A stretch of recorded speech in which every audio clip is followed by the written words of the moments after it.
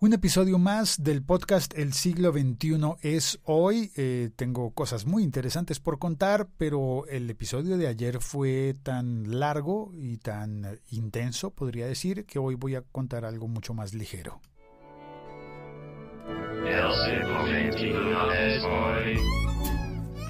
Y eso más ligero es que voy a contarte eh, que llevo aproximadamente unos tres años, creo, unos tres años, utilizando unos audífonos, frecuentemente los utilizo, son los que más utilizo, pero no son los únicos que utilizo. Varias veces he contado en este podcast que por salud de mis oídos procuro ir cambiando los audífonos, los auriculares, una vez cada semana o cada dos semanas en el, en el peor de los casos.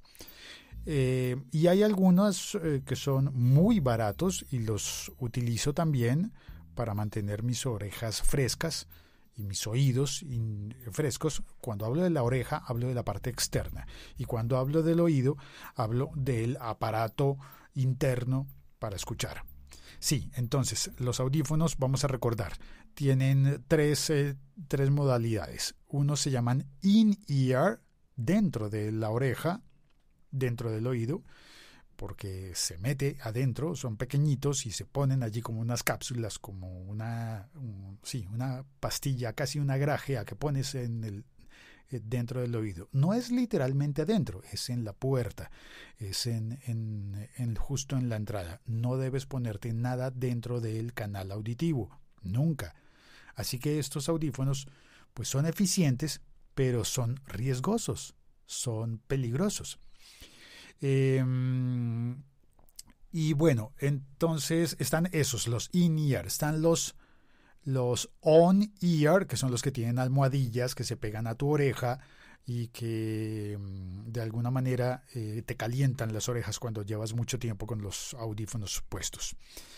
Esos audífonos suelen ser eficientes, son yo creo que los más populares, los que más se utilizan, y están los em, over ear o around ear, que son los que se ponen alrededor de las orejas.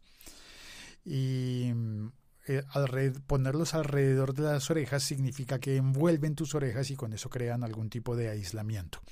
En este momento estoy utilizando eh, unos audífonos, los que, los que uso en mi casa, que son unos Sony Stereo Headphones MDR XD200. También tengo otros que son Bose que, comprado, que he comprado con porque les ponen a buen precio en algún momento. Y en el chat, ay, que se me hizo el chat. Hace un momento vi a Sergio que me estaba bromeando con el, con, eh, con el acrónimo que alguien se inventó, se inventó para Bose o Bose, que es Buy Other Sound Equipment. Cómprate otro equipo. y bueno, el caso es que estos audífonos MIE2I son unos audífonos in-ear. Se ponen dentro de la oreja. Ah, volvió a aparecer el chat. Ahí está. Se ponen adentro de la oreja, pero son un modelo especial que tienen un, un caucho con forma de media luna. De manera que eh, los audífonos son eh, redondos, pero tienen una punta salida hacia un extremo y allí se encaja eh, una pieza de silicona, una pieza flexible que encaja en tu oído. Y al tener esa forma de media luna, simplemente la media luna lo que hace es mantener los audífonos en tu oreja para que no se caigan. Eso es algo que pasa muy frecuentemente con muchos de los de los modelos de audífonos. Este que se, pues, se mantiene en tu oreja y está diseñado pues, para que la gente pueda correr, trotar, hacer footing, hacer running o hacer ciclismo, en mi caso, cuando puedo, y sin que se le estén cayendo a uno los audífonos de la oreja. Son muy buenos. Y estos particularmente tienen un micrófono que he utilizado un montón de veces haciendo podcast y el botón de control de volumen. Control también para contestar las llamadas eh, y, colgarlas. Así que me han gustado muchísimo. Pues bueno, en tres años de uso constante, eh, pero uso constante, pero no, como digo, no exclusivo, es decir, son los que más utilizo, pero no son los únicos que utilizo, pues el cable, la cobertura de caucho o de goma alrededor del, del hilo del cable ha tenido un par de fracturas o muy breves, ¿no? Muy pequeñas, como que se va resecando posiblemente con el sol, pierde la elasticidad y de repente un día ves que tiene una, una pequeña fractura que cuando lo doblas se ve el interior del cable y eso no debería ser.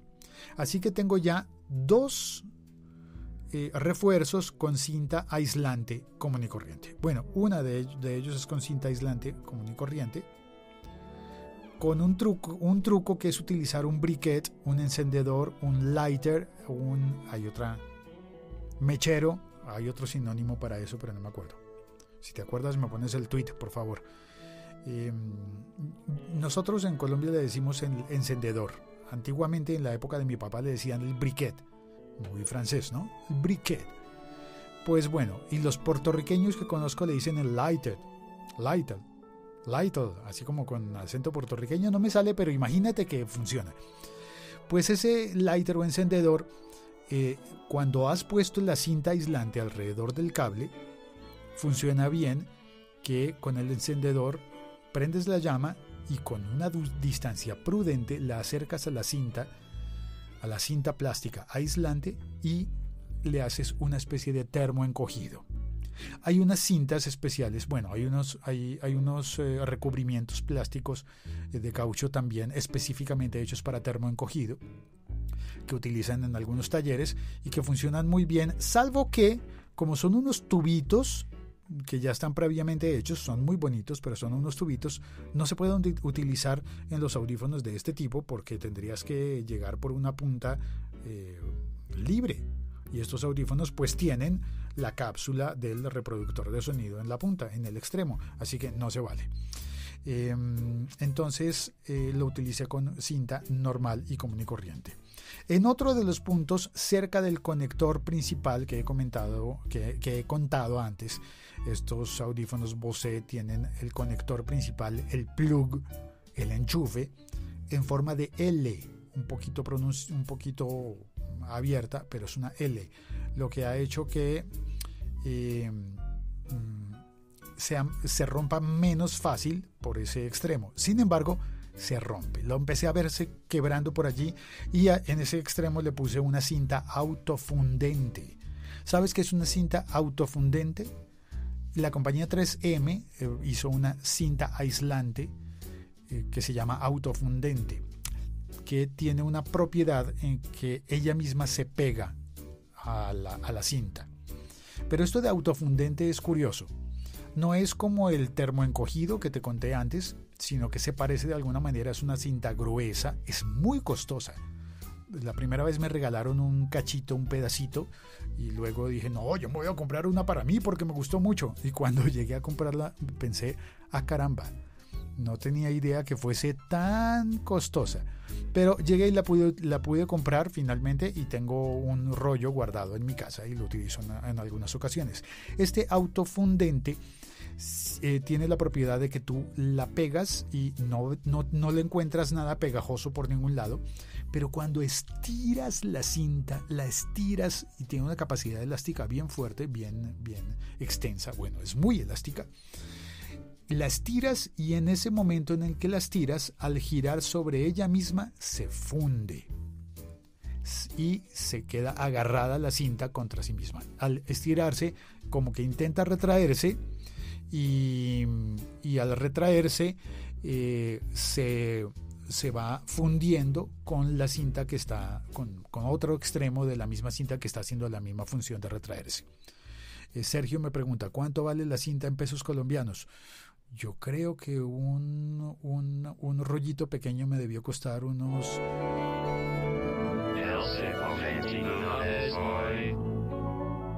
Se me había olvidado. Eso significa que ya llevo nueve minutos hablando, ya debo terminar. Eh, me debió costar unos 50 mil pesos colombianos. Eso debe ser eh, eh, a cuentas alegres eh, unos, eh, ¿cuántos? 18 dólares, 16 dólares, algo así, que para hacer una cinta aislante, para hacer una cinta, pues es muy costoso. Eh, bueno, eso es más o menos lo que recuerdo. Puede haber sido algo así. En el, en el chat está Sergio, también está Milko Romero. Gracias por venir, Milko. Eh, dice Milko, a veces esas cintas cuestan más de lo que quieres arreglar. es verdad. Eh, Jorge Fernández acaba de llegar. Bienvenido, Jorge. Todavía me falta por contar. Entonces, esa cinta autofundente la he puesto en mis, audífonos en el extremo para básicamente como refuerzo. Es decir, cada vez que detecto en el cable una de esas fisuras en el caucho que recubre el, alambre, pues le pongo un refuerzo. Eso hace que quede menos flexible por ese lado, pero he logrado prolongar la vida útil de los audífonos. Ahora bien, en el conector, el último, eh, em, la última herida de guerra de estos audífonos que me han salido muy buenos, eh, especialmente el micrófono, me gusta porque no, se le siente el golpe, el golpe del p, p, p. Son muy buenos por eso, a mí me gustan, me gusta el, su micrófono. Y en el punto en el que está el micrófono también hay tres botones. Botón de contestar y colgar llamadas, o de ponerle play o, eh, o pausa a lo que estés oyendo. Y también un botón para subir el volumen y un botón para bajar el volumen. Estos botones no son tan habituales, es decir, los audífonos que tienen estos botones suelen ser más costosos que los demás y eh, deben eh, sincronizarse y deben estar avalados por compañías como Apple. Estos audífonos están avalados para utilizar con iPod, con iPhone y con iPad. Entonces es una parte sensible y creo que, que no es tan fácil de reponer. Pues bueno, uno de estos tres botones se me cayó. Y aquí debo decir, mea culpa. número uno, porque les doy muy duro a los audífonos, los utilizo muchísimo. Número dos, porque no he llevado la bolsita que, entregan de fábrica. En el paquete viene con una bolsita, con una, con una carterita, con una especie de librillo, con una cremallera en la que puedes guardar los audífonos y que se mantengan en buen estado.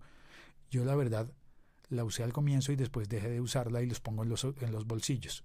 Al estar en los bolsillos de, del saco, de, no sé, pues quedan expuestos y posiblemente estos botones han estado rozando, no sé, quizás las llaves, quizás unas monedas, eh, un día a veces se me han caído al suelo y eh, la semana, bueno, hace un par de días, cuando llegué de hablar por teléfono en la bicicleta, noté que faltaba un botón. Oh, ¿qué hago con ese botón que falta? Pues durante un par de días lo llevé sin el botón. He pensado hacerle una, una costura con una de esas cintas que te conté, pero si yo le llego a poner una cinta en este punto, justo en este punto, taparía el micrófono. Así que no vale. Bueno, pues lo que he hecho, mi solución momentánea es que saqué un control remoto, en España le dicen un mando a distancia, de un, eh, de un top set de televisión, de una caja de esas que pones encima del televisor eh, para captar TDT, eh, televisión digital terrestre, pues se dañó y el control remoto, por suerte, no lo tiré a la basura. Lo guardé, el control está dañado, no sirve. Pero,